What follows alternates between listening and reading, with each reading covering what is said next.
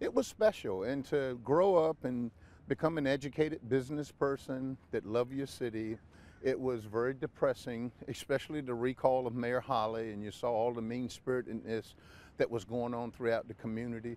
I just, uh, as a person that was not a politician, I thought it was if I am going to try to make a difference in my community and in my hometown, that that was the time to do it because you just saw a whole lot of mean spiritedness. And unfortunately, it's still going on six years later.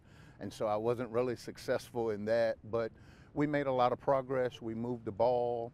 There are a lot more people better off, and our city is better off from a financial standpoint, economic development, all of those types of things. But it's hard when you're in a terrible recession like we came out of in 2007 and all of our different cities here, the economies are all different. And here in Portsmouth, our economy lags all of the other cities.